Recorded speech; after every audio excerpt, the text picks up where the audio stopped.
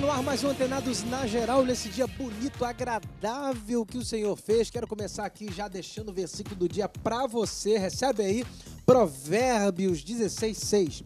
Pela misericórdia e pela verdade se espia a culpa. Pelo temor do Senhor, os homens evitam o mal. Já dizia o Salomão, né? Que o temor do Senhor é o princípio da sabedoria. Então, temor a Deus não é um temor com medo, é um temor reverencial, um temor que reverencia o Pai. Então, esse temor reverencial te livra do mal, te preserva do mal. Então, fique aí com essa palavra. Muito bem, hoje no Atenasa Geral vamos responder as perguntas que o Brasil manda aqui para mim, para me ajudar aqui nas respostas, que hoje o papo vai ser quente. São 10 perguntas perguntas. Espero que a sua esteja aqui também na minha mão para participar comigo, me ajudar nas respostas. Convido ele que é pastor da Igreja Tempo de Obediência e Propósito, é escritor e fundador do projeto Somos Some. Michael Balbino, bem-vindo ao Antenasa Geral. Muito bom estar aqui, boa tarde a todos. Convide alguém, mande uma mensagem e vamos que vamos. Para participar também comigo aqui com as respostas, convido ele que é pastor bacharel em teologia e missiólogo, Márcio Silas. Deus abençoe, é sempre um prazer poder estar com vocês aqui. Para participar comigo também ela que é pastora da Igreja Metodista, bacharel em teologia, licenciada em artes visuais pelo Centro Universitário Metodista Bennett e é mestrado em teologia na PUC Rio, professora de arte, Glaucia Mendes. E aí, Pablo, obrigado pelo convite, muito bom estar aqui com vocês. Você que está nos assistindo, fica ligadinho, vai ser muito bom esse papo que a gente vai ter hoje. Para participar também, convido ele que é pastor e teólogo Max Cassim. Bem-vindo, Antenado. Obrigado, Pablo. Obrigado, produção. Vamos para o debate. Vamos lá, então. Vou pegar aqui, na minha mão aqui, tá as perguntas. A primeira é o seguinte. Assisti o programa sobre humanidade e divindade de Jesus, que foi até um papo muito bom. Deu o que falar esse programa. E fiquei com uma dúvida. Claro, né? Divindade e humanidade de Jesus, acho que é uma dúvida aí ao longo desses dois mil anos. Se Jesus era totalmente humano, não era Deus, por que ele aceitou a adoração de leproso? Do leproso. Olha aí, como é que, como é que a gente faz para entender isso? Essa é uma discussão muito difícil de, acho que de discernir, né? Assim, porque tem vários textos mesmo que Jesus ele não quer ser venerado, ele quer ser seguido. Jesus é o Deus que deve ser adorado ou é o Deus que deve ser seguido? Como é que a gente pode interpretar a divindade de Jesus? Ele quer que todo mundo o venere ou quer que o siga? Como é que deve ser essa adoração a Cristo? Bom, uh, antes de mais nada, ele começou com um pressuposto, né? Uh, o pressuposto dele é que está equivocado que Jesus é homem e Deus ao mesmo tempo. Homem e Deus. Ele é Manuel. A linguagem teológica, se a gente for complicar, nossa, acho que o nosso intuito aqui é descomplicar, chama isso de pessoa teantrópica. Em Cristo você tem teos tá, e antropos, Deus e homem. E é necessário que ele seja Deus e seja homem. Por quê? Só Deus salva, então a salvação só vem de Deus. Por outro lado, aquilo que não é redimido não é assumido. Tá? Então só pode ser redimido aquilo que é assumido. Por isso que ele encarna, ele assume a matéria humana. Agora, uh, ser adorado e ser seguido são duas coisas igualitárias. Porque, por exemplo, o Deus do antigo, do antigo pacto, Yahvé, antes de você ter essa manifestação messiânica, ele era um Deus que era para ser adorado, mas também seguido. Tanto é que ele dá a lei ao povo. A lei tá, mostra que esse Deus quer ser adorado, tá, quer ser reverenciado e quer ser seguido. E o Espírito Santo também entra nessa? Entra. Tipo, adora o Pai, o Filho e o Espírito Santo. Porque o pastor que veio aqui na época, no dia desse debate, que foi muito bacana, depois pode, você pode lá rever, lá no YouTube tem a divindade e a humanidade.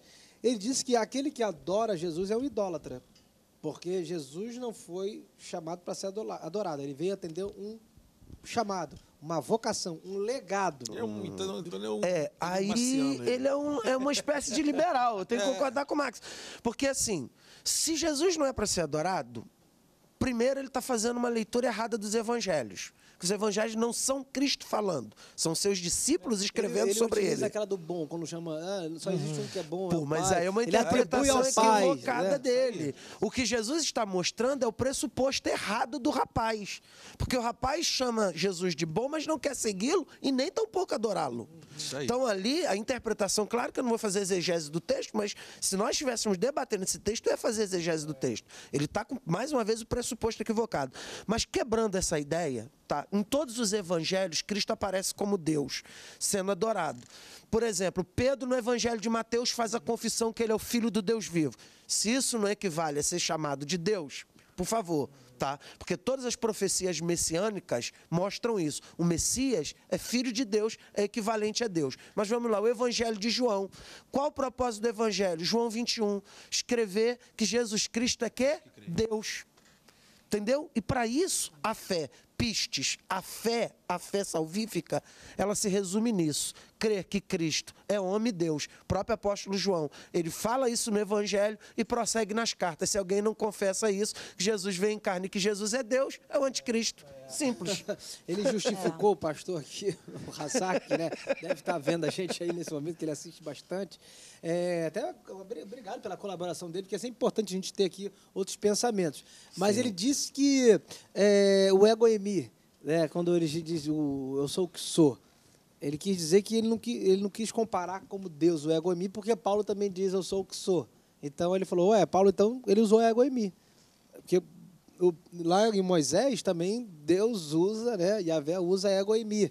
Quem você é? Eu sou o que sou. Esse eu sou o que sou de, de Yahvé é o mesmo que, que Jesus, mas não é o mesmo de Paulo. Ele diz que esse egoemi tem algumas diferenças. Aí diz que Jesus não Há era. muitas diferenças. Ele, ele não confessou como Deus. Até que, por exemplo, eu não vou complicar aqui para quem está nos assistindo, eu recomendo que você vá a um seminário, mas você vai ver que sempre há um adjetivo acompanhando. Cada vez que Jesus utiliza a expressão eu sou, ego em mim, você tem do lado um adjetivo. Eu sou o quê? Sou videira, eu sou a vida, eu sou o caminho. Então ele dá figuras completas ao adjetivo. Por isso que há esse contexto. Agora, eu entendo a fala dele, tá?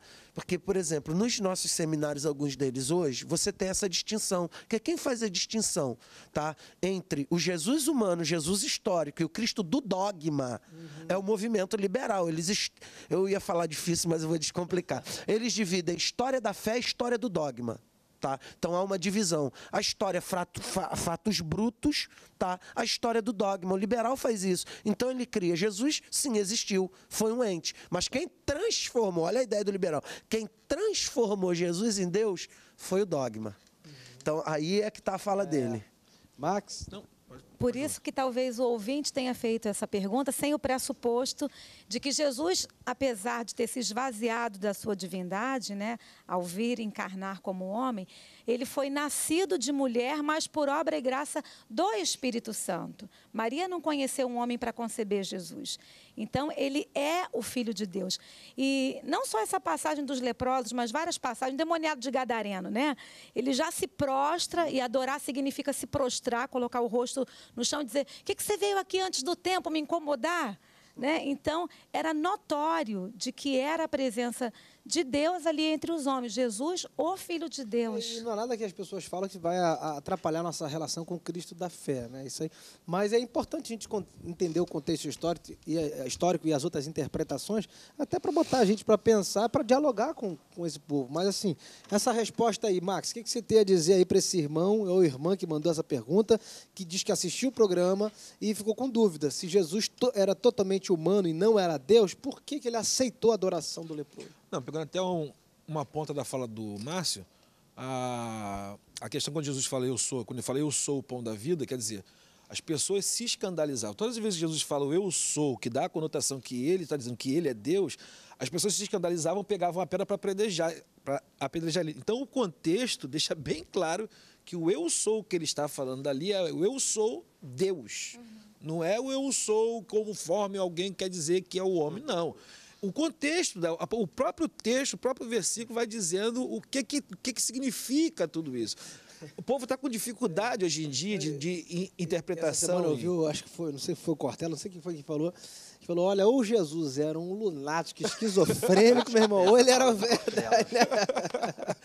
De duas, ou eu prefiro acreditar que ele era Deus encarnado. Né? É, e aí, assim, quando, eu- quando eu quero tentar explicar isso para alguém que está com muita dificuldade de entender isso, eu digo o seguinte: olha, imagina você receber um cartão de crédito sem limites que você pode ajudar o mundo inteiro. O mundo inteiro. E aí, quem te deu esse cartão de crédito sem limite te jogou num lugar de miséria. De miséria. E aí você pode ajudar as pessoas dentro da necessidade delas ou ajudar as pessoas para sua vanglória. Que era o que Jesus tinha, todo o poder. Agora, se ele faz os milagres para a sua vanglória, aí estaria pecando, aí estaria errando. Agora, tanto é que Jesus poderia curar todo mundo. Jesus curou quem tinha necessidade. Eu quero ser curado. Se, eu- se tu quiser, pode me curar. Eu quero ser, eu quero que tu seja curado. Seja curado. E muitas vezes ele até dizia, não conta pra ninguém. Não conta eu pra não quero ninguém. holofote, eu não quero trom- fama. trombeta, né? E o próprio João vai dizer que se fosse escrever todos os feitos relatos, Teria... os livros da época não caberia em em todos as. O pastor, ele pegou esse texto também e falou aqui, né? Dizendo, olha, Jesus, tu vê que Jesus nunca atribuiu para si a, a glória, sempre para o Pai. Mas por que Ele- isso? ele- é a questão exatamente do isso. É. ensinamento da humildade, a questão do esvaziar-se. O Filipenses, ele se esvaziou de ser Deus, se, se- se despiu da glória. Veio, o- gente, é, é pensar um pouquinho. Algo que é eterno, atemporal, entra no tempo. Pô, é a mesma coisa. Eu com 1,83m querer me encaixar num, ca- num caixote de 1,50m. Eu vou ter que me virar para me encaixar ali. É, O que, o que Jesus fez foi ju- justamente sair da eternidade atemporal e entrar no tempo. E acompanhar o tempo, ele sendo dono do tempo, superior ao tempo, maior que o tempo. É se limitar. Ele quis se limitar ao homem para ser igual a nós. É o que a Bíblia deixa bem claro, para sofrer as mesmas coisas que nós sofremos. Mas o fato dele ter se esvaziado e ter se tornado homem não tira dele Em momento a, a nenhum. natureza de ser o Em filho momento de Deus. nenhum. Eu acho que é isso que o ouvinte talvez tenha... É, é- é- é- Confundido. é justamente isso que eu estava querendo, querendo dizer. Você tem um cartão de crédito, você pode usar o que você quiser, mas você não usa porque você não quer, mas o cartão continua sendo seu. É. Jesus continuava sendo Deus. Não quis agir 100% aqui conforme só Deus. E não quis agir também 100% só homem, porque ele é 100% do homem, 100% Deus. Ele é, conforme o Márcio deixou bem claro aqui, junto. Não tem aquela coisa de metade Deus, metade homem. Não, é a mesma É. coisa. Ele é 200% dentro de um corpo de 100%, se é que você me entende. Ele é o dobro de tudo que nós somos, pelo menos, né? Agora, deixa eu só fazer uma, uma aplicação muito rápida, ô Pablo. Ah, esse ouvinte tem que olhar a Bíblia. A Bíblia, por exemplo, um texto que responde essa dúvida dele é quando os discípulos chegam a Jesus e dizem: Senhor, mostra-nos o Pai. Jesus responde: Eu estou há tanto tempo com vocês e vocês me pedem para ver o Pai. Quem vê a mim? Meu pai. Pronto. Você entendeu bem? Então, esse é um texto que demole toda a É, é, falácia. a gente tá falando que interpretação é interessante. A gente também usou esse texto aqui. Pois é, mas aí não, mas eu ele estava como querendo que dizer que ele veio o trazer o legado do Pai. Olha só como é que é a interpretação. Então, Nós tá cremos que Jesus é Deus Correto. encarnado. E né? aqui eu tenho que só destacar outro, outro ponto importante para me fechar minha fala nesse bloco, nesse, dessa pergunta. Por que, que Jesus veio como homem? A gente tem que lembrar isso aqui. O homem pecou, violou a lei de Deus, tá? E a, a lei de Deus estabeleceu a pena capital. Qual é a pena capital? Salário do pecado, É a morte. então, preste atenção. No Antigo Testamento, você tem prefigurado essa morte. Um sacrifício inocente. Aqui, ó, o pecador tem que impor a mão. Isso fala de identificação. Tá? Isso é uma doutrina teológica que perpassa toda a Bíblia. O pecador coloca a mão no sacrifício, aquele sacrifício inocente morre. É como se o pecador estivesse dizendo, eu deveria estar morrendo no seu lugar. Por isso que Cristo assume a matéria humana. Só pode ser redimido aquilo é. que é assumido. Ele é o nosso substituto. A morte que deveríamos morrer, ele morreu. Por isso que ele tem que ser homem. Ele tem que ser Deus. Porque só Deus salva e tem que ser homem para assumir. Pronto, essa aí é a nossa resposta aí. É questão de fé e esperança, e essa é a nossa fé e nossa esperança. Fica aí essa resposta para você. Vamos para um break? Um rápido intervalo, não sai não, que Antenados vai e volta já já.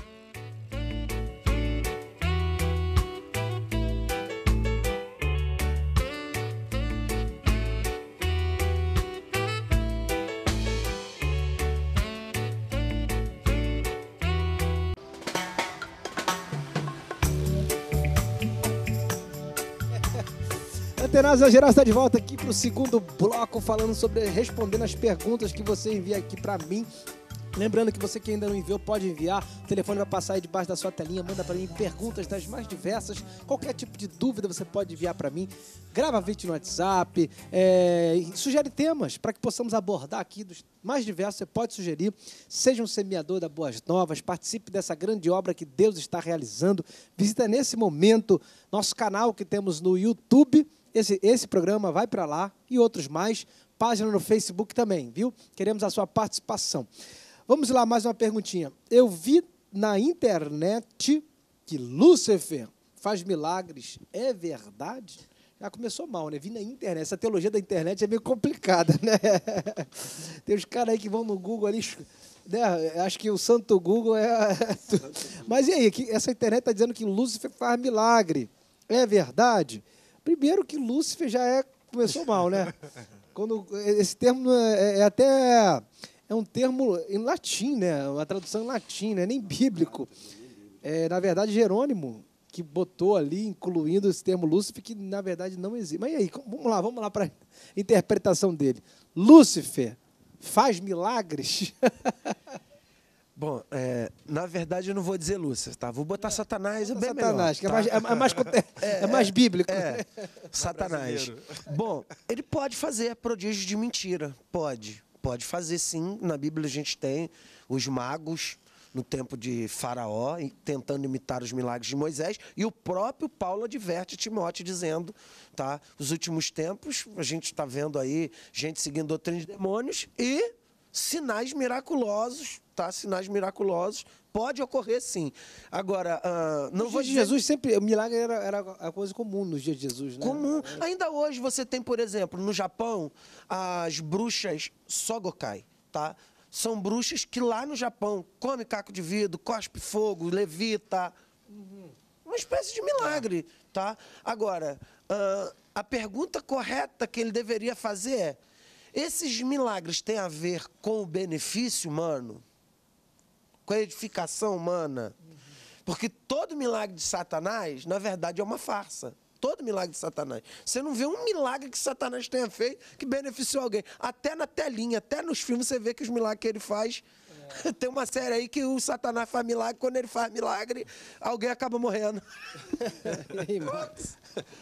É. é assim, essa questão da, do, do diabo, o diabo, Satanás, faz milagres, isso é, é evidente, porque também ele também tem, tem, tem os seus meios, conforme você já, já deixou aqui bem claro aqui, ele também tem os seus meios também de, de fazer. É, o, próprio, o próprio livro de Atos dos Apóstolos está cheio de Simão, Simão, é, Simão Mágico e tantos outros que. Tanto é que ele quis comprar de, de Paulo pensando que era técnica. Né? Pedro, desculpa, né?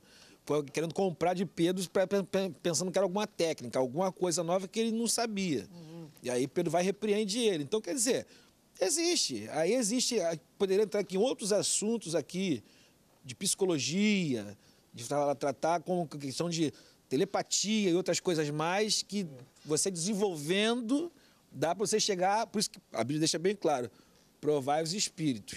Uhum. Os espíritos. Vamos para outra perguntinha aqui, que são 10. O primeiro bloco deu uma só, que eu acho que aquele bloco, na verdade, é um programa inteiro que daria né, para respondê-la. Aqui, pastora Glaucia, fui a uma vigília e lá estava vendendo um óleo ungido. Primeiro começou vendendo por 5 reais, depois 10 reais, depois 20 reais. Os que pagaram, a pessoa passava uma, passava uma profecia. Isso, era, isso é certo? Meu Deus, com certeza não. Isso daí já é, é o, o, o mercado hein? dentro da fé. Eu imagino que se Jesus estivesse naquela vigília, ele derrubaria aquela mesinha toda e ele falaria: Olha, o que vocês estão fazendo aqui da casa do meu pai? Comércio? Né? lembrando o texto bíblico. Então, essa atitude é uma heresia, é um absurdo dentro da igreja. A salvação é pela graça, de graça recebeste, de graça, de graça dai. Então, óleo ungido, objetos ungidos, isso aí é comércio da fé, é abominação diante de Deus E você que é novo na fé, você preste atenção também. A Bíblia diz que a gente não deve ser levado por todo o vento de doutrina, não. A gente tem que ter conhecimento da Bíblia e comunhão com Deus, com o Espírito Santo, para a gente não ser enganado por esses ventos de doutrina. E aí, Michael? É, não tem um lugar que essa pessoa é, né? O, o estado. Porque eu reparei que no norte do Brasil e nordeste tem muito esse costume. As pessoas vão no culto e na porta o pastor mesmo dá um frasquinho de óleo para cada um levar para casa. Aqui no Rio é meio, é já não tem muito isso. Pelo, porque aqui geralmente quem unge são os presbíteros, pastores, missionários. Mas lá eu reparei que tem esse lance. E é, isso daí eu vejo, sabe o que? São líderes que são mani- manipulados pelo povo para agradar. Pô. E aí o cara arrumou uma forma de ganhar um dinheiro. Porque eu- eu- quando eu vou pregar muito para o norte do Brasil, até no Suriname, que vem muita gente do norte para lá, migra para lá, é, acontecia isso. Pastor, o senhor não tem um óleozinho para eu levar para casa aí, não? De Israel que é melhor, pastor. O senhor não tem, não tem essas coisas. E um cara vende isso, porque ele compra isso lá. Ele pensa nisso, não, já que eu vou comprar em Israel, já que tem uma procura de óleo, eu vou comprar e eu, vou, eu não posso tomar um prejuízo, porque ninguém quer sair perdendo, né? Eu vou vender. E aí ele barateia como que se fosse um, um, um leilão ao contrário, né? Não, leilão, começa abaixo e vai aumentando, né? 5, 20. E aí eu, eu vou ver se eu consigo lá da. Mas da- ali com direito até a profecia. Quem compra o preço É. maior ainda tem um Ganha brinde. brinde. Esse vem no Bônus. Esse vem no pacote. é o bônus. Esse vem no pacote. Absurdo. É triste. É, Agora, infelizmente deixa eu só é rapidinho triste. falar isso aqui. Eu tenho que falar. Gente, pelo amor de Deus, parem de comprar esses talismãs evangélicos. São uma espécie de talismã evangélico. No bloco anterior foi citado aqui Simão Mágico. Da palavra Simão, a gente tem uma palavrinha que os evangélicos esqueceram, simonia. Simonia foi condenado na reforma protestante. Simonia é o tráfico de coisas sagradas. Todos os nossos benefícios são usufruídos a partir da fé no Cristo crucificado pelos nossos pecados e ressurreto para nossa justificação. Vou fazer igual Márcio. Corta para mim. Por favor, se alguém ficar querendo vender óleo ungido, capa de 5 mil reais para você, foge disso, meu amigo. Você não precisa de talismã. É, que fé é fidelidade, né? Abandona essas coisas, esses objetos aí. Você já tem acesso ao pai, o véu foi rasgado. Pra quê? Ficar botando óleo, vassoura, o que quer que ser sabonete. As pessoas vão lá na vassoura igreja. ungida, é. eu- Agora, é, eu ia fazer uma outra pergunta, mas vamos para uma outra aqui. Porque o que acontece? Tem gente lá na igreja. Eu acho que vocês passam por isso direto, né? Pastor, vai lá ungir meu carro. Né? Tem isso. Como é, como é que a pessoa deve reagir em relação a isso? Deve atender a limitação da fé da pessoa, que aquilo ali é uma ignorância. Né? É, aí você vai lá, vai ungir o carro da pessoa. Como é que Pablo, você eu vou lá e faz? oro. Sem óleo. É, cadê o óleo? Tá lá em cima. Pai, tá aqui, apresento nas tuas mãos. Tá aqui, ó. Guarda, livre todo mal, em nome de Jesus, amém. É quando a pessoa pede para ungir, ela está pedindo a bênção de Deus, né? A presença de Deus para Deus guardar. Eu já ungi muitas vezes carro de, de várias pessoas, casa também, quando as pessoas compram, a gente vai lá, unge, abençoa, ora, é, dizendo assim, ó, que Deus te, te guarde. Agora também a gente fala, ó, mas também vê aí as regras da- do trânsito, porque está pedindo a bênção de Deus, anda certo, né? Eu falei isso para eu fui lá orar, né? Eu falei, como é que eu vou fazer isso? Hein? Ungir o carro? Não tem quem sou eu para ungir alguma coisa, né? Deus que tem a, a capacidade de ungir, ungir é capacitar. Aí eu cheguei ali, falei, tentei fazer uma oração, na verdade, até para ela, em vez de ser para Deus. eu falei, Deus, em nome de Jesus, que ela venha usar o carro para a glória de Deus, que esse carro para ser santo, que santifique ele carregando irmãos que não têm carro, levando pessoas para as casas, que ela consagre a ti. Aí quando eu terminei, eu falei, ó, consagrar, não é Deus que vai consagrar, é você que vai consagrar a Deus. É só você que pode consagrar esse carro a Deus. Nem eu posso. Aí, como é que eu faço para consagrar? Usa ele para a glória de Deus. Obedeça às leis do trânsito, pague ele em dia. Leve os irmãos da igreja que não tem em casa, usa ele para servir a, a obra de Deus. É a maneira de você consagrar a Deus as coisas. Que as pessoas pensam que é o talimã, né, é, é, é, talismã, usando é, tipo como uma espécie de, de abracadabra, né? A lâmpada de Aladim, você toca ali, derrama óleos e aquilo ali vai ficar ungido. E... Então, olha só, a gente tem que amadurecer, na verdade, na fé, né? Usar para a glória de Deus. Boa tarde. Não, vamos, aqui, ó. Essa aqui é a quinta. Vamos para a quarta. Meu nome é Carlos. Eu gostaria de saber se é pecado usar objetos de sex shop. Olha aí o cara. Entre o casal, marido e mulher casados. Tudo é liberado no casamento? Como é que é? Ó, eu queria primeiro começar dizendo que sexo não é pecado no casamento, que o sexo é uma benção, que o sexo não é só para procriação, que o sexo é um momento de intimidade, de alegria, de prazer que o casal precisa ter.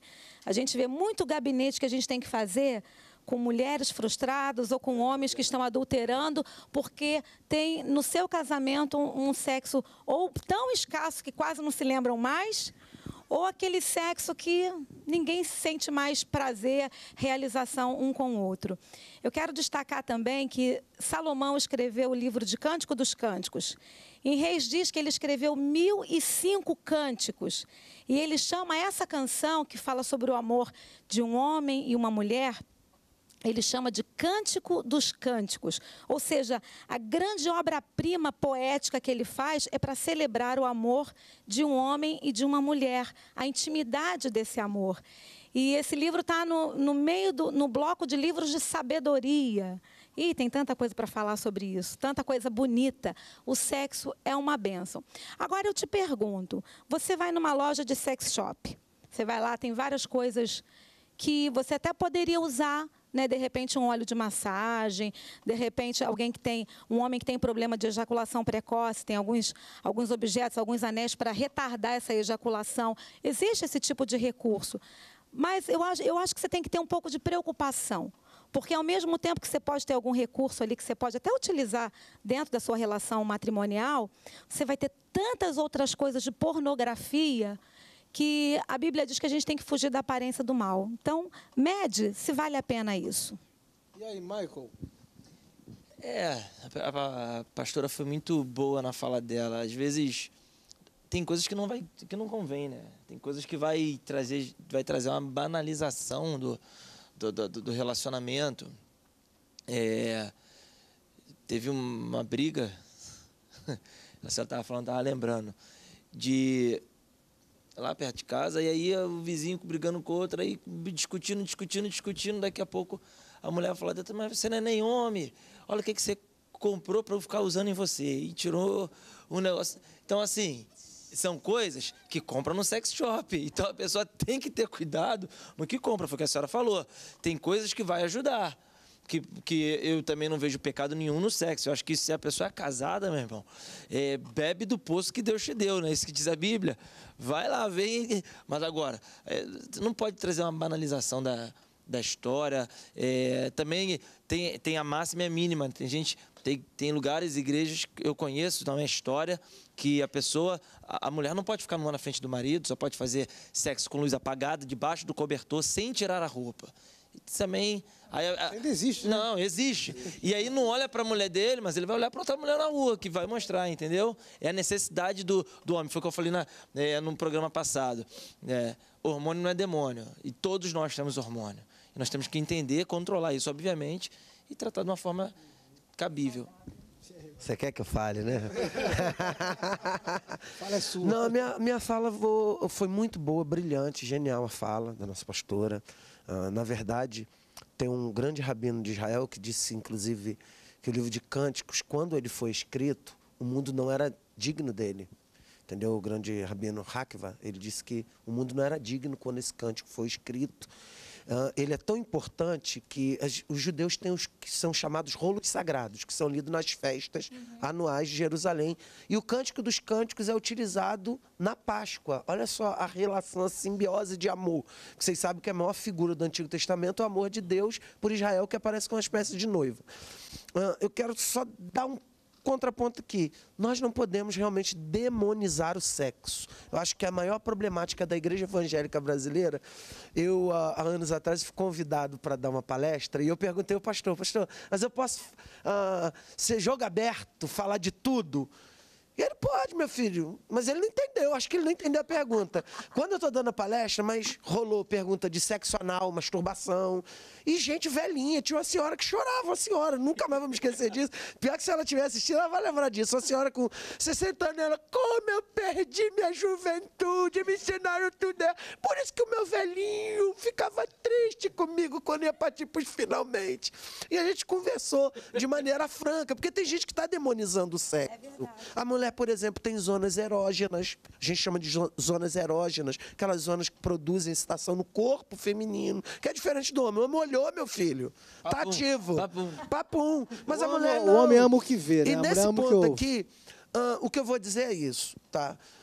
Não há pecado em comprar alguma coisa para apimentar a relação, tá? Pode sim ocorrer o pecado, como por exemplo, aqui o pastor Mãe, eu, minha mente, mente de pregador viaja. Quando ele falou da briga, eu pensei, poxa, o cara tá precisando fazer ligação, ligação direta. Então, assim, são coisas que ele tem que focar, tomar um cuidado, tá? Há uma liberdade no relacionamento, mas não uma espécie de libertinagem. Essa é a minha fala, que senão isso aqui é a caixa de Pandora. Muito bem, vamos para um break. Esse bloco foi para conta, tem mais dois pela frente. Não sai daí, antenados, volta já já.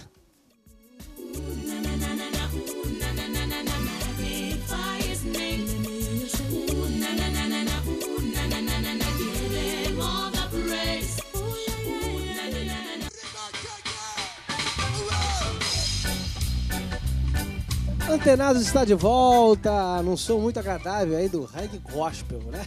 É o reggae gospel.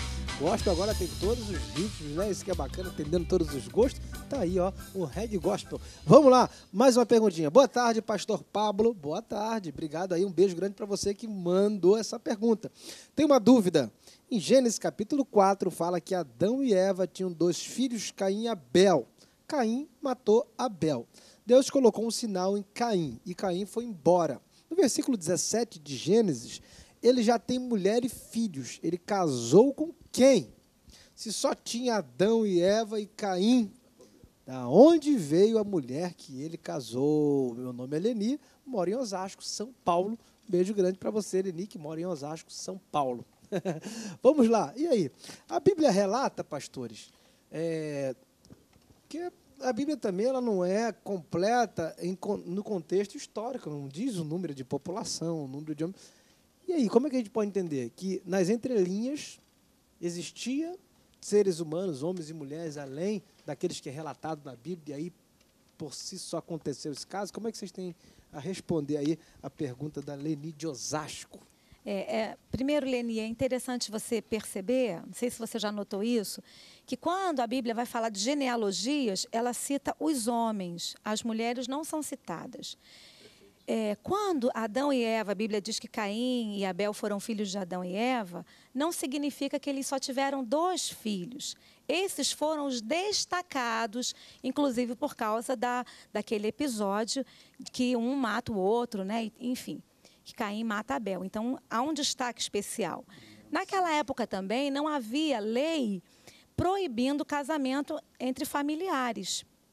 Então, eles procriaram, não havia controle de natalidade. Então, Adão e Eva, Eva engravidou muitas vezes, as mulheres engravidavam muitas vezes, tinham muitos filhos. Enquanto elas tinham o período fértil capaz para gerar filhos, elas produziam muitos filhos porque não tinha nenhum método que fosse ali é, impedir que ela engravidasse. Então a Bíblia destaca Caim e Abel, eles tiveram muitos outros filhos, as mulheres não eram registradas na Bíblia, não era costume fazer isso, e é, Caim casou-se provavelmente ou com uma sobrinha ou com uma irmã, né? E, e quando o termo da Bíblia diz conheceu a sua esposa, esse termo não é como a gente diz, ah, vou te apresentar aqui meu amigo, oi, tudo bem, esse aqui é o fulano de tal, a gente está conhecendo alguém. Não, esse conhecer na Bíblia é conhecer na intimidade, é um ato sexual. Né? Então, só para te, te ajudar nessa, nessa Mais alguém para contribuir? Acho que perfeito. É, mas só a Perfeito. questão só também da questão do versículo. De um versículo para o outro na Bíblia, dependendo do trecho que for, não é de um dia para o outro. De um versículo para o outro pode ter 100, 20, 30 anos. Correto. Ela fez a aplicação mais do que É. correta. Porque o Gênesis, na verdade, você tem um bloco de assuntos teológicos, destacando o início de tudo. Isso aí. Quando destaca em Abel, é justamente o início do homicídio, o primeiro homicídio que aparece na história. Então, perfeito, Pronto. perfeito. Mais uma aqui. O, o pastor pode batizar pessoas que não congregam na congregação? Então, é, poder ele pode. Eu não acho. Se tiver água, né? É, é isso aí. Já, já é outra história. né? Agora, eu não acho, eu não acho interessante. Eu, eu não, eu não, eu particularmente não batizaria uma pessoa que não fosse é, lá da igreja. Eu não. Se Felipe cruzasse teu caminho. Não, sim, mas aí, assim, hoje, porque. Rapaz, tu não era uma igreja, não, Não, é, não, não, rapaz. mas aí a gente tem que entender o seguinte: naquela época era muito, era muito pequena a questão das pessoas que batizavam. Os discípulos eram poucos. Hoje, gente, tem igreja de tudo quanto é esquina. E tem esquina que tem duas igrejas, uma embaixo e outra em cima. Então, assim, é, a questão é: por que você não quer batizar na igreja que você é membro? Por que, por que, que você não vai? Ah, porque eu não sou membro lá. Então tá, é membro aqui que eu te batizo aqui. Eu penso assim, porque o que acontece é que tem gente que, ah, o meu pastor, por algum problema eu não vou me batizar lá, eu vou batizar na igreja do senhor só para afrontar o cara lá. E aí você está servindo de, de, de, de- hum, como se fosse algo de manobra, né? E aí eu, eu não acho interessante. Hoje no Brasil não existe necessidade de ninguém, ninguém querer eh, fazer, eh, batizar uma outra pessoa de outra igreja, porque tem tanta igreja. Vai lá, seja membro de uma igreja, batiza lá. Eu acho que isso só é justificável em casos excepcionais. Por exemplo, você está fazendo uma visita num hospital ou na casa de alguém, a pessoa ali já está né, quase vendo Jesus. E ela não é, não é batizada ainda e te pede o batismo, ou você, você faz o apelo. E se aquela pessoa ali diz, você batiza na hora, com a aguinha que tiver. Se não for evangélica, sim. entendeu? De boa. É, eu acho que aí é- são casos excepcionais. Max, Max. Deixa o Max responder. Pode ir. Bola. Cara, assim, eu batizo, de boa. Uma vez vieram me perguntar o seguinte: Mas por que tu não pastoreia a igreja? Sei o quê. Aquelas perguntas que o pessoal fala: por que tu é pastor de igreja? Por que tu não pastoreia igreja? Eu falei, cara, eu falei assim, eu já pastorei um monte de ovelha que não, é, que, não é, que não é minha. Porque tem um monte de pastor por aí que não dá conta das ovelhas. Então, quando está com problema, me ligam. Quando quer um conselho, me ligam. Então, em outras igrejas, estão tudo por aí. E eu não pastorei, sou pastor auxiliar, mas não pastorei igreja nenhuma. Estou só auxiliando. Eu acho que é o seguinte, eu, aí é o ponto de vista meu, eu, Max, a pessoa estando consciente do que, que ela está fazendo, do que, que ela quer fazer dentro dos parâmetros bíblicos, eu batizo de boa. Sem problema nenhum, só ter água. Se não tiver água, eu arrumo, nem que você fale no E se cuspe. for aspersão ou imersão, é a gosto do cliente. do freguês. Aspersão ou imersão? O que, você é quer? que você quer? E aí? Bom, eu, a minha colocação é muito simples. Primeiro, ela tem que entender o que é o batismo. Né? Então, isso aí. Geralmente as pessoas estão voltando ao período católico. Você se batiza para salvação. Geralmente eu ouço isso, né? A pessoa, não, para que você quer se batizar? Ah, para ser salvo. Não, o que salva não é o batismo. O batismo é um rito tá, de confirmação que aquela pessoa agora ela está inclusa na família de fé. Então, literalmente, não tem a ver propriamente ao batismo vai me salvar. Quem salva é Cristo. Salvação é pela graça. Então, é o primeiro ponto que eu levanto e vou fazer uma brincadeirinha com o pastor Maico aqui. Me permita fazer, pastor. Só tem uma coisa que ele falou que eu não concordo, que tinha pouca gente para batizar no tempo dos apóstolos. Gente, numa pregação de Pedro é 3 mil. Na outra, 4 mil. Imagine, vamos botar que metade se batiza. Não. É que o caso É, ali os foi bati- Não excepcional. era batizando, era quem batizava, que eu tô dizendo. Ah, eu disse sim. quem batizava, não quem queria se batizar. Ah, tá. entendeu? Porque tinha muita gente para batizar. Não, é porque sim. o caso de Filipe é um caso realmente, como a nossa pastora colocou, é um caso excepcional. O Espírito tira ele de um grande avivamento de Samaria, leva ele para o deserto, ele se encontra com o etíope, e a pergunta é: o que está faltando para ser batizado? Já me explicou o texto bíblico. Eu já Entendeu. entendi isso. Joga água nele, meu amigo. Boa tarde. Todo pecado eu preciso levar ao meu pastor Hum, ou posso confessar a Deus está tudo resolvido? Boa pergunta. E aí, tem Estou até com os olhos arregalados. Essa pergunta pastor? Me, é, me, me fez assim. Eu não sei qual a igreja. Bom, você está falando em pastor, então você é evangélico, né? Você que mandou a perguntinha. Porque é, na igreja evangélica, na igreja protestante, nós temos o entendimento que o nosso intercessor é Jesus. Quem perdoa os nossos pecados é Jesus. O pastor, a pastora, não é intermediário para que A ninguém. não ser que o pecado for contra o pastor. Aí tem que confessar. Aí ele vai para se reconciliar, né? Mas como foi colocado aí, nos dá a entender de que toda vez que a pessoa peca, ela vai lá e confessa para o pastor. A Bíblia diz que se nós confessarmos os nossos pecados ao Senhor, Ele é fiel e justo para nos perdoar. Então, meu irmão, você pecou, você cometeu alguma coisa que sabe que aborreceu a Deus? Dobra o teu joelho, quebrando o teu coração, diz: Senhor, não quero mais viver assim, não quero mais fazer isso. E confessa ao Senhor. Você está precisando de ajuda, você está no meio de um pecado que está te perseguindo, você está numa tentação. Aí você pode até procurar o teu pastor ou a tua pastora. Estou precisando de ajuda. Como é que eu venço esse pecado, essa tentação? É muito diferente. É, confessa se você achar que ele tem um conselho bom para te dar. De repente, às vezes, a pessoa está tá escrava de algum pecado. Isso aí. É, e a Bíblia diz para confessar uns aos outros, exatamente com essa pedagogia Sim. de receber uma instrução, porque a confissão ela tem uma pedagogia né, muito, muito, importante para até a própria libertação da pessoa quando ela bota para fora aqui. É, a, a, aqui a gente tem um aspecto bem abrangente. A nossa pastora levantou a questão correta. Nós parece que estamos voltando ao catolicismo Sim. com aquela figura do padre, o confessor. Sim. Entendeu? Então, assim, eu de repente olhei para você, não gostei você fez assim, mas aí eu, ah, poxa, isso é errado. Aí eu tenho que ir lá para o meu confessor, entendeu? É, é, é, uma ideia equivocada. Agora, por outro lado, a gente é um tema muito complexo, porque, por exemplo, se esse indivíduo comete um delito, que isso vai violar a integridade da comunidade da fé onde ele milita, tá? Então, o meu conselho a esse indivíduo é procurar sua liderança, o seu pastor, e dependendo do que ele houver cometido, tá? do delito que ele houver cometido, ele peça afastamento, aplicação da disciplina eclesiástica. Tá? Que é uma aplicação hoje, igrejas não gostam de falar isso, mas é bíblico, a disciplina eclesiástica. Você tem em Coríntios o cara que está pegando a mulher do pai. Pô, Paulo diz: vocês estão tolerando esse cara no meio de vocês. O cara está passando o cerol é. na mulher do pai e para vocês é tudo normal. Verdade. Não, aí, dependendo, por isso que eu estou citando aqui, o assunto é bem complexo, é bem vasto, mas se esse cara tem um problema que vai afetar a moralidade da comunidade da fé. Pecado público. Se... Uma coisa pública, aí sim, ele tem que procurar liderança. Lá na igreja, eu, eu lido o seguinte: eu falo lá com as ovelhas todas que eu vou batizar. Antes do batismo, eu faço tipo, um gabinete com cada uma e eu toco nesse assunto, leio o que está escrito em Eclesiastes, né, que o que confessa e deixa alcança misericórdia, mas o que encobre nunca prosperará. Uhum. E eu falo o seguinte: o que você não pode ter é um pecado de estimação. É você ficar pecando, pecando, pecando, pecando, guardando. Porque quando você fala também ele, você liberta ele. Você, você não é que liberta, você libera ele. Uhum. Tipo, não está em oculto. Pô, pastor, eu estou com um problema que eu estou roubando no meu trabalho todo dia dois reais. Só que o cara está fazendo isso muito tempo e quando ele confessa, ele já consegue, né, ter aquele uma ajuda, ó, vamos orar por você, até para ter o auxílio que vocês falaram em oração e conselhos. Agora, o que o senhor falou é, é muito verdade. Os pastores estão querendo ocupar os lugares dos padres, cara. É, tipo, ó. Maravilha. Vamos para um break. Tem mais um bloco aí, vamos finalizar aqui com chave de ouro. Você que está aí gostando, não saia não. Antenados volta já já. So shine,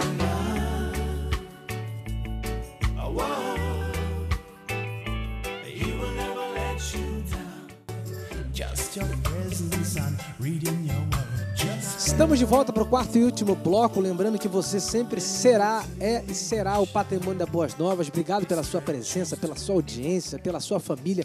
Que Deus te abençoe e te guarde. Faça resplandecer seu rosto sobre ti. Tenha misericórdia de ti e que te dê a paz nesse dia agradável, bonito que o Senhor fez. Vamos lá para mais uma perguntinha. Espero que a sua esteja aqui na minha mão. Pastores, é certo o pastor largar seu ministério porque sua esposa não quer acompanhá-lo? E aí, Max, ele tem que largar porque a esposa não quer acompanhar? Como é que funciona? Vamos lá, Pablo. A, a, a grande dificuldade do povo é entender o que é ministério. O que é ministério? Aí vai ter, vai ter que filosofar. O que é ministério para essa pessoa? Subir em cima de um púlpito, ficar falando com o microfone na mão? Isso, para mim, desculpa, não é ministério. Pregar é dever de todo mundo. Agora, a pessoa tem que, pô, é, é, sei lá, para, é, parar de ajudar um necessitado, parar de, de é, é, é, sei lá, obedecer à Bíblia, sei lá, coisas assim. Aí realmente vai ter aí que sangrar em, em algum lado.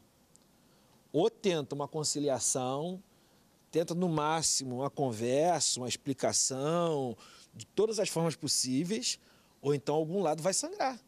Isso aí ou, ou vai ser o lado, vamos dizer, ministerial, ou vai ser o lado da mulher. Porque tem situações que, tipo, pô, é pro bem-estar da família? Pô, abre mão, meu filho, cai para dentro. Agora, é pinima da mulher ou do homem, é, é, é, é penima do cônjuge. Tem gente que é, é do diabo, cara. Infelizmente, porque assim, cisma com uma coisa, trava. Trava e quer travar todo mundo. Aí, meu irmão, realmente vai ser complicado. Aí que falando, um lado vai sangrar. E eu entendo assim que um pastor, para considerar a possibilidade de deixar o ministério, eu entendo que deixar o ministério é deixar de pastorear uma igreja local. Perfeito. Por causa da sua esposa, ele está sendo. É uma, é uma decisão, gente, muito difícil. Não é uma coisa fácil, tipo assim, ah, vou deixar isso aqui, esse objeto. Não, é uma coisa muito difícil. Para ele chegar nesse ponto, ele está entendendo que se ele não tiver, der uma pausa naquele exercício do ministério pastoral, ele vai perder a família dele. Então, eu acho assim que nesse momento de, de ele está precisando até de ajuda, Perfeito. de oração, né, de pessoas que estejam ali junto com ele. Quem sabe vai ser uma pausa curta, uma pausa média, uma pausa longa, nós não sabemos. Mas eu entendo que esse pastor está tendo sabedoria para fazer isso. Uma A decisão família, né? difícil. A família é É uma decisão difícil. Porque não adianta o cara ganhar o mundo inteiro e perder a própria casa. Não, mas Tem aí tá falando, Pablo, mulher. A família você pode abranger muito mais. Agora tá falando mulher. A questão da mulher pode ser a mulher do cara. A mulher do cara surtou e falou: não quero mais. Ou então a mulher do cara, pô, ficou doente. Ou então a mulher do cara falou assim: eu tô de saco cheio com essa igreja e eu não quero mais estar aqui. E, e nós temos problemas. Entendeu? então, tipo assim, varia muito. Agora, quando fala família, aí você vai incluir filho, pô, pai, mãe, aí. Nós temos exemplos claros na Bíblia acerca disso. Acabe e Jezabel. Se de repente ele não ouvisse a mulher dele, olha quantos problemas que houve no reino de Deus, no, no reino de Deus, em Israel ali, por conta de, de um relacionamento errado, de ouvir uma mulher. E ela come, ele começou a fazer o que Deus não queria, que como nós falamos aqui no outro bloco, a, a glória que tinha que ser para Deus, somente de Deus, trouxe confusão para um povo todo. Então, o ministério dele, vamos colocar assim, que ele é, reinar naquele lugar seria uma ordem de Deus e foi, foi totalmente jogado no chão por causa de uma mulher. É, vou, vou- vou trazer um pouquinho mais para o Novo Testamento. Quando Jesus falou assim: quem não abrir mão, ele bota lá em relação, brrr, entra a mulher junto. Entra pai, entra mãe, entra filho, entra irmão, entra todo mundo. Entendeu? Aí é que tá.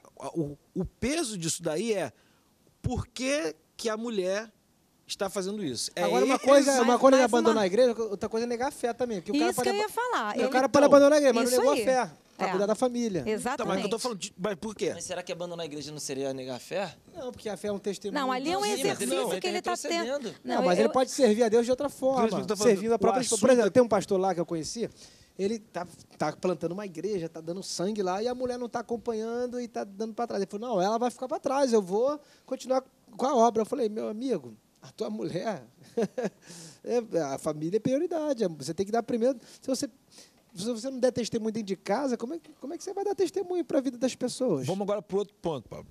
A mulher surtou. Esse foi o caso que eu vi, Surtou. que eu presenciei, que eu ajudei o cara. A mulher surtou. Não quero mais igreja, vou para o mundo e você vai ter que escolher ou igreja ou eu. Tchau e benção. Não, eu não entendo assim. Eu tá entendo, entendendo? inclusive, o seguinte: A mulher o já pastor. queria ir para o mundo. Então, eu acho que ele tem que sair, né, como a Glaucia falou, Não, eu para não cuidar da mulher, da, da mulher, eu da família, acho, não? por exemplo, gente, quem é pastor de uma igreja local, quem é pastora de uma igreja local, a gente sabe a demanda que é uma igreja. Se esse pastor é um pastor dedicado à igreja, ele, ele gasta muito tempo com aquilo, a família, sem perceber, vai ficando mesmo de escanteio. Essa mulher, tá- na verdade, o grito dela é: Eu preciso de você. Eu quero você. Você é o meu marido. Você não é só pastor. Você, eu entendo que é um momento difícil da vida pastoral, difícil para a igreja, ainda mais se esse pastor é amado. É difícil para a igreja. É uma situação delicada, mas que ele está sendo muito sincero dizer: gente, eu preciso dar uma pausa, senão eu vou perder meu casamento. Né? E essa mulher não é Jezabel, não. É, às vezes é uma mulher muito apaixonada pelo marido, que simplesmente quer ser a mulher dele. Mas e é quer justamente ter isso que eu estou falando. O que depende tudo é da situação. Qual é a situação? É a mulher. Por que, que ela está fazendo isso?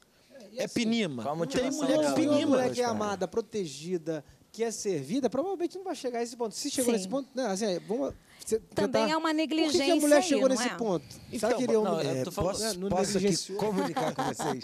Eu acredito que cê- essa, essa pergunta dele é uma pergunta bem complexa para a gente analisar. Tá? Ah, a, minha, a minha resposta para ele, bíblica, minha resposta bíblica, antes de mais nada, é ele ponderar o que está acontecendo. Isso aí. Tá? Ponderar o que está acontecendo. Se o que está ocorrendo é por causa da profissão de fé dele, eu recomendaria a ele a dar apenas um tempo, tentar dialogar com a esposa. Se isso não Perfeito. ocorrer, ele não pode negar a profissão de fé. Agora, se houver outros casos, porque pode haver. que a gente está aqui rodeando e a gente sabe que é um assunto complexo, muito, Muito complexo. Cada caso é um caso, Por quê? Porque a pergunta dele não estabelece o parâmetro para a gente aqui dialogar sobre isso. Porque pode acontecer o caso que a pastora citou. E isso acontece. Eu, ah, você sabe muito bem, eu não pastorei, eu auxilio na igreja onde estou. Já viajei esse Brasil e fora dele algumas vezes pregando, ensinando na docência. E eu já vi gente como eu perder a família. Por quê? Porque o cara é negligente. Há poucos dias eu estava conversando com amigos que pregam também, de um cara que entra e sai de avião dois, três meses em casa. Meu irmão, esse cara vai adulterar, vai perder a mulher uma vez ou outra. A mulher ainda provavelmente não quer meter o pé por causa dos usufrutos. Então o cara tem que ponderar. Eu, por exemplo, eu prego, os amigos sabem disso, quem me conhece sabe. Eu não aceito convite para ficar um mês inteiro pregando, ou, ou- ou ficar dois, três, quatro, cinco, seis, sete meses Você fora de casa. tentação. Porque eu entendo que eu tenho minha esposa, tenho minha família. E, e é- e é o lado importante para o meu ministério, é o lado importante. Então, eu, justamente na semana, aceito às vezes duas, dois, três convites. Porque eu quero ter meu espaço. Minha esposa, esses dias, fez aniversário tão gostoso poder tirar a noite para ir com ela no restaurante, né? Ir lá no seu Manolo comer um negócio da picanha, Pablo. Coisa de crente, meu Deus. Isso é coisa boa. carne. Agora, o meu conselho para esse camarada é pondere. O que é que está ocorrendo de fato? Que a pergunta dele é uma pergunta que levanta múltiplas respostas. É muito, ampla. Porque se no caso, pode acontecer. Eu conheço caso de mulher a dizer eu não quero mais porcaria nenhuma, meu negócio eu quero sexo. Eu quero. E vai trair o cara, chifrar o cara, e por causa disso. O que, é que acontece? Ele vai ficar encastelado, preso. Então, são coisas que a gente levanta. Agora, mais uma vez eu pontuo aqui, meu amigo, Pondere. pondere. Coloque na balança tal que está acontecendo. Se é negligência sua, você se dedicou demais à igreja e deixou sua família de lado, ou isso está ocorrendo justamente porque é um distúrbio? Maravilha, pastores, quero agradecer muito a presença de vocês. O papo hoje foi uma bênção. Obrigado, Brasil. Obrigado você que me assiste todos os dias, 17 horas aqui na Boas Novas. Um beijo grande. Até a próxima. Você quer viajar com cogumelo, ver gnomo na janela pendurado viajou na oração.